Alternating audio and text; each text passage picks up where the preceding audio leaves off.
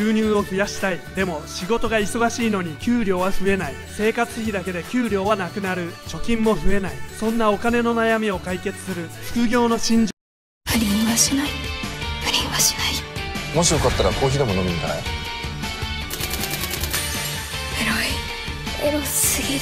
ブ島由里子の赤裸々日記。水曜深夜0時10分放送常識選び抜かれた業界トップクラスの副業情報。